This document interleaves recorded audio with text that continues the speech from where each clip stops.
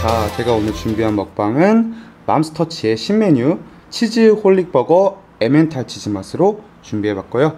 치즈 홀릭버거 체다 치즈 맛 이건 기존에 있던 버거고 네 요것도 추가로도 주문했어요. 그리고 같이 먹을 매콤 김떡만 치즈볼 4개 이렇게 준비해봤습니다. 자 그럼 오늘도 맛있게 잘 먹겠습니다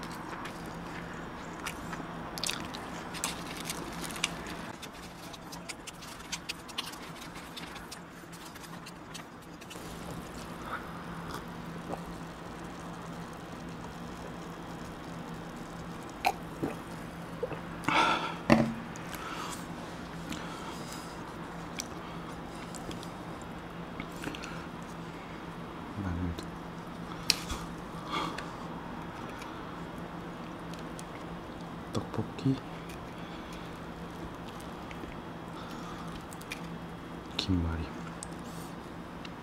만두 떡볶이 김말이. 김떡만